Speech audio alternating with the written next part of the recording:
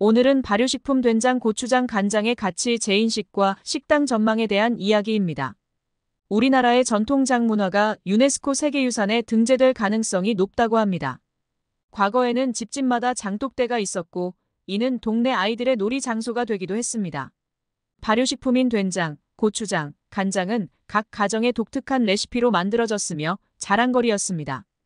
또한 김장과 함께 우리 식탁을 책임지는 가장 중요한 행사 중 하나였습니다. 그런데 전통 장 문화가 점점 사라지고 있는 것 같아 매우 안타까운 요즘입니다. 이는 우리 식문화의 큰 손실이 아닐 수 없습니다. 지구 반대편의 뉴요커들도 한식을 좋아하게 되었지만 정작 본토인 한국에서는 발효식품 문화가 시들해지고 있다는 것이 안타깝습니다. 핵가족화와 도시화가 진행되며 젊은 세대는 바쁜 일상 속에서 장을 직접 담글 시간적 여유가 없고 전통 방식의 장 담그기를 배울 기회도 점점 줄어들고 있습니다. 게다가 대량 생산된 공장형 장류는 값이 저렴하고 구매가 간편하다는 장점이 있어 많은 사람들이 이를 선호하게 되었습니다. 그러나 공장형 장류는 전통 방식으로 만든 장에 비해 맛과 풍미가 떨어지는 것이 사실입니다. 발효 기간이 짧고 인공 첨가물이 들어가는 등 품질 면에서 한계기 때문입니다. 이러한 상황이 지속된다면 우리의 소중한 장 문화는 서서히 잊힐 수밖에 없을 것입니다. 따라서 전통장의 가치를 재인식하고 이를 보존하고 발전시키기 위한 노력이 필요한 시점입니다. 이를 위해서는 무엇보다 젊은 세대의 관심과 참여가 중요합니다. 각 가정에서 장 담그기의 전통을 이어갈 수 있도록 배우고 실천하는 것이 필요합니다. 아울러 학교와 지역사회에서도 장 문화 교육을 활성화하여 전통장의 가치를 알리고 직접 체험할 수 있는 기회를 제공해야 할 것입니다. 또한 정부와 기업에서도 전통 장류의 품질 향상과 대중화를 위해 노력해야 합니다. 전통 방식을 고수하면서도 현대인의 입맛에 맞는 장류를 개발하고 이를 합리적인 가격에 공급할 수 있는 방안을 모색해야 할 것입니다. 아울러 전통장 제조 기술을 표준화하고 데이터베이스화하여 누구나 쉽게 배우고 만들 수 있도록 지원하는 것도 필요합니다. 이처럼 사회 전반의 관심과 노력이 모아진다면 우리의 소중한 장 문화를 지켜내고 발전시켜 나갈 수 있을 것입니다. 1.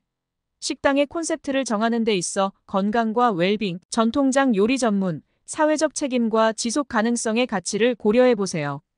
구체적인 콘셉트를 연구하고 이를 바탕으로 식당의 방향을 정의하는 것이 중요합니다. 2. 재료의 품질과 조리법에 집중하는 것이 필요합니다. 우수한 품질의 재료를 사용, 정성스럽게 발효시킨 장류를 만들어야 합니다. 식당의 근간이 되는 음식의 바탕으로 현대인의 입맛에도 맞게 응용하는 것도 필수입니다. 3. 스토리텔링을 통해 가치를 전달하는 방법을 찾아야 합니다. 전통 발효식품을 만드는 과정에서 수많은 이야기가 생겨날 수 있습니다. 예를 들면 장류의 유래와 제조 과정, 품질에 대한 스토리를 최대한 세세하게 전달할 수 있어야 합니다. 4. 편안히 식사할 수 있는 분위기의 식당으로 만드세요. 전통 장 만들기 체험, 지역 농가의 재료 등을 통해 식당의 이미지를 제고하고 멀리서 찾아오는 손님들에게 전통적인 식사 경험을 제공하며 조리법 등의 레시피를 공유하면 좋습니다. 5. 환경보호, 사회적 책임 등 지속 가능성의 가치를 식당 운영에 반영해 보세요. 예를 들어 플라스틱과 음식물 쓰레기 줄이기, 지역사회 공헌 활동 등을 적용할 수 있습니다. 고추장과 간장을 사용한 닭고기 볶음과 구이 요리는 쉽게 완성할 수 있으면서 달고 짠 풍미로 남녀노소를 가리지 않는 두터운 팬층을 갖고 있습니다. 된장, 간장은 맥적을 만들기에 가장 알맞은 발효식품입니다. 발효의 건강함과 질 좋은 소고기는 최고의 식사 경험을 만들어낼 수 있습니다. 건강과 웰빙, 음양의 조화에 맞춰 육지와 바다, 하늘의 재료를 모두 사용하는 식당은 흔치 않습니다. 시래기 들깨국은 만들기 쉬우면서 몸을 따뜻하게 만들고 건강에 좋은 국물 요리입니다. 사시사철 변하는 계절의 장점은 다양한 야채를 먹을 수 있게 해줍니다. 현대인들이 먹기 힘든 제철 나물과 냉국으로 할머니와 어머니의 역할을 해주는 장소가 되어도 좋을 것 같습니다. 우리의 전통장은 유네스코의 인류, 무형문화유산 지정 여부와 관계없이 우리 민족의 오랜 지혜와 정성이 깃든 귀중한 문화유산입니다. 이를 소중히 여기고 계승해 나가는 것은 현 세대의 책무라고 할 수 있습니다. 특히 전통장을 활용한 식당 운영은 이러한 문화를 대중에게 알리고 건강한 식문화를 확산시키는 데 중요한 역할을 할 수 있습니다.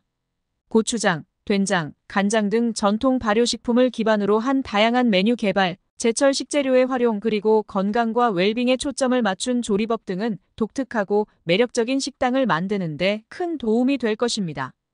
우리 모두가 협력하여 전통장의 가치를 살리고 이를 현대적으로 재해석한 식문화를 만들어가는데 노력해야 할 때입니다.